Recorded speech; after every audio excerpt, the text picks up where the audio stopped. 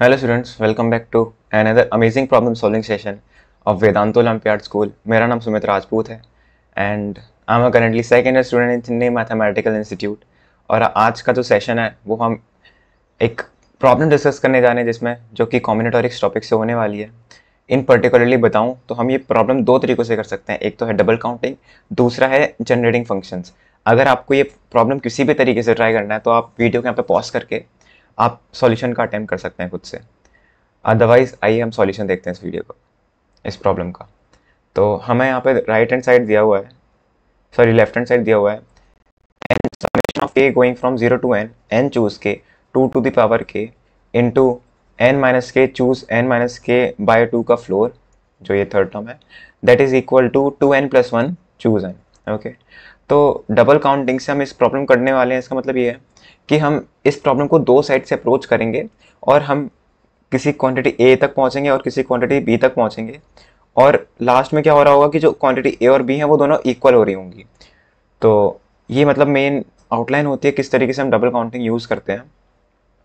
और इसको आप दूसरे तरीके से कर सकते हैं, वो होगा इसको एक फ़ंक्शन मान के लाइक इसको आप फ़ंक्शन मान सकते हैं एफ़ ऑफ़ एन और आप मतलब इसको रिड्यूस कर सकते हैं लोअर फ़ंक्शंस में मतलब बहुत ज़्यादा कॉम्प्लेक्स होगा वो। उसमें मिस्टेक होने के चांसेस काफ़ी ज़्यादा है। और साथ ही में वो काफ़ी लेंदी और बोरिंग सॉल्यूशन होता है तो I don't prefer that one जो डबल डबल काउंटिंग का सॉल्यूशन है, वो काफ़ी ज़्यादा इंट्यूटिव और काफ़ी ज़्यादा ब्यूटीफुल सॉल्यूशन है। मतलब आपको लगेगा नहीं कि ये चीज़ कैसे हो रही है।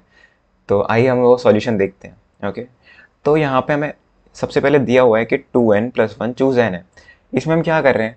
कि टू एन प्लस वन चीज़ों में से एन चीज़ों को चूज़ कर रहे हैं ओके तो इसका मतलब ये भी, ये है कि जो इस साइड ये सबमिशन लिखा हुआ है, इसके अंदर भी हम कहीं ना कहीं टू एन प्लस वन चीज़ों में से एन चीज़ों को चूज़ कर रहे होंगे ओके अलग अलग तरीक़ों से जिनका sum two N plus one choose N आ रहा होगा ओके तो यहाँ पे क्या दिया हुआ है सबसे पहले?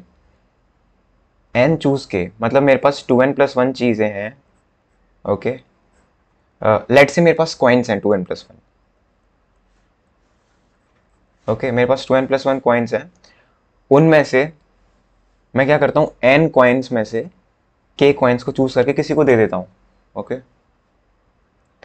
एन कॉइन्स को चूज़ किया एन सी के एन में से के कॉइन्स को चूज़ करके दे दिया। अब यहाँ पे लिखा हुआ है टू टू दी पावर के अब इस चीज़ से क्या मतलब है? मतलब जो मैंने के कॉइन्स दिए हैं, वो के कॉइन्स को देने के भी चांसेस दो दो हैं। मतलब कि मैंने एक कॉइन दिया है, इसको और इसके बाद इसकी भी दो प्रबल मतलब चांसेस है कि कॉइन ए साइड जाएगा या फिर बी साइड जाएगा मतलब इस तरीके से। तो मैं क्या करता हूँ, इसको हल्का सा मॉडिफाई करता हूँ। अब मैं क्या करता हूँ, यहाँ पे मैं पेयर्स बनाता हूँ मतलब एक पेयर होगा ए वन बी वन दूसरा पेयर होगा ए टू बी टू ऐसे करते करते पेयर्स होंगे A N B N okay और एक लास्ट में होगा सी ओके तो ये कितने नंबर्स हो गए? ये सारे हो गए टू एन नंबर्स और जो जो लास्ट में वो है वन ये कितने हो गए? टू एन प्लस वन चीज़ है मेरी। अब मैं क्या करता हूँ कि मैं मान के चलता हूँ कि ये बैगर ए वन बी वन है। मतलब ये दो बैगर्स हैं जो कि एक रूम में बैठे हुए हैं। ये दूसरे बैगर ए टू बी टू हैं जो दो बैगर हैं, वो एक रूम में बैठे हुए हैं। ऐसे करते करते a n b n beggar है जो एक रूम में बैठे हुए हैं। साथ ही में जो एक बैगर वो अकेला बैठा हुआ है ओके तो अब मैं क्या करता हूँ कि टू सबसे पहले मैं क्या करूँगा कि जो ये एन रूम्स हैं जो ये एन रूम्स है मेरे पास, इन एन रूम्स में से मैं किन्हीं के रूम्स को चूज़ करूँगा एन चूज़ के तरीक़ों से और उनको कॉइन्स दे दूँगा। अब मैंने एक कॉइन किसी रूम को दिया होगा तो उस रूम के अंदर भी कॉइन किसी एक बैगर के पास जाने के चांसेस कितने होंगे? दो चांसेस होंगे, क्योंकि हर रूम के अंदर दो बैगर्स हैं। तो ये क्या हो जाएगा? N choose k into two to the power k okay तो अब जो ये मेरा फॉर्मूला है, वो कहीं ना कहीं मेरे इस फॉर्मूले जैसे दिखने लगा है धीरे धीरे करके ओके अब मेरे पास कितने कॉइन्स बचे हुए हैं? मेरे पास टोटल थे एन कॉइन्स अभी मैंने के कॉइन्स दे दिए तो मेरे पास एन माइनस के कॉइन्स बचे हैं ओके मेरा सबसे पहला तरीका क्या था कॉइन्स देने का? सबसे पहले मैंने, एक सेकंड यहाँ पे लिख देता हूँ clearly choose k rooms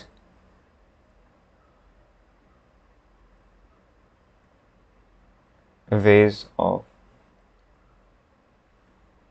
distributing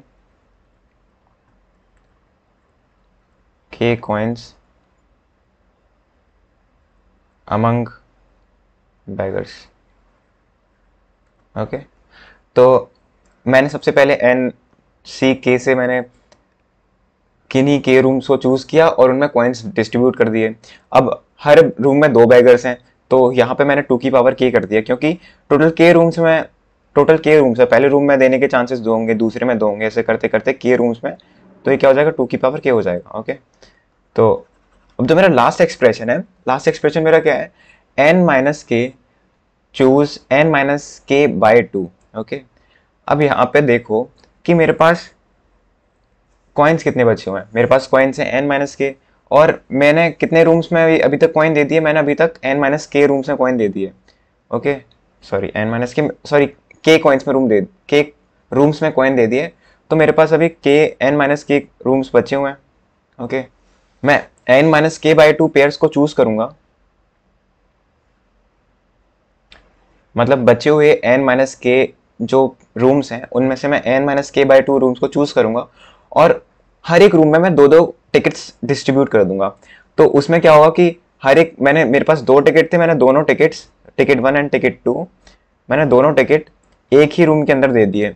तो अब वो पहला टिकट किसी भी किसी के भी पास जाए, उससे फ़र्क नहीं पड़ता तो डिस्ट्रीब्यूशन का चांसेस डिस्ट्रीब्यूशन का तरीका तो उसमें वन ही हो जाएगा। ओके क्योंकि टिकट्स आइडेंटिकल है। तो जो एक्सप्रेशन है, वो क्या बन जाएगा? Summation of k going from zero या वन हाँ zero to n n choose k मैं सबसे पहले एन में से के सॉरी एन रूम्स में से के रूम्स को चूज़ करके हर एक रूम में एक एक टिकट दे देता हूँ। तो उसके तरीके हो जाएँगे n choose k into two to the power k अब मैं बचे हुए एन माइनस के टिकट्स को क्या करता हूँ कि बचे हुए एन माइनस के टिकट्स को क्या करता हूँ कि मैं बचे हुए जो एन माइनस के रूम्स हैं, उनके आधे रूम्स में से मैं आधे रूम्स चूज़ करता हूँ और उनमें डिस्ट्रीब्यूट कर देता हूँ। मतलब कि अगर मेरे पास इतने रूम्स बचे हुए हैं, इनमें से मैं क्या करूँगा फिफ्टी परसेंट रूम्स को चूज़ करूँगा और उनको टिकट्स दे दूँगा। तो उसके ज़रिए कितना हो जाएगा? N choose n by two floor okay ये हो जाएगा। तो वही एक्सप्रेशन मेरा लास्ट वाला है जो यहाँ पे रखा हुआ है। तो ये क्या है? ये टोटल तरीके हैं कि मैं एन प्लस वन लोगों में टू एन प्लस वन लोगों में एन टिकट्स को डिस्ट्रीब्यूट कर रहा हूँ। अभी आप यहाँ पे देखो कि यहाँ पे मैंने एन माइनस के लिखा हुआ है। और एन माइनस के क्या हो सकता है? इवन भी हो सकता है और ऑड भी हो सकता है।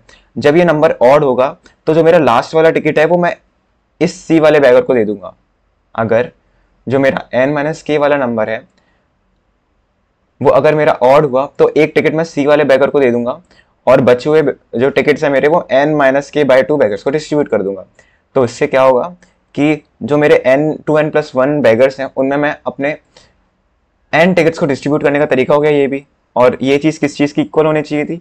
This must be equal to two n plus one choose n okay तो जे, जो ये तरीका हमने डबल काउंटिंग से निकाला इस प्रॉब्लम को सॉल्व करने का, ये काफ़ी मतलब आप देखिए यहाँ पे हमने किस तरीके से बैगर्स कॉइन्स का यूज़ किया। आप यहाँ पे क्या कर सकते हैं? एक और तरीका है कि यहाँ पे आप कॉइन्स की तरह चॉकलेट्स अज्यूम करते और क्या करते कि आपकी क्लास में मान लो कि एन बॉयज़ हैं।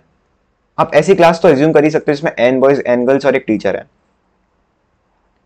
हाइपोथेटिकली और एक टीचर है। आप क्या करोगे सबसे पहले? अब यहाँ पे बॉयज़ और गर्ल्स का एक एक पेयर बना दोगे, लिखो।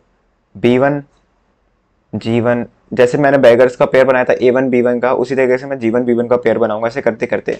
बी एन और जी एन ये सारे पेयर्स बन गए।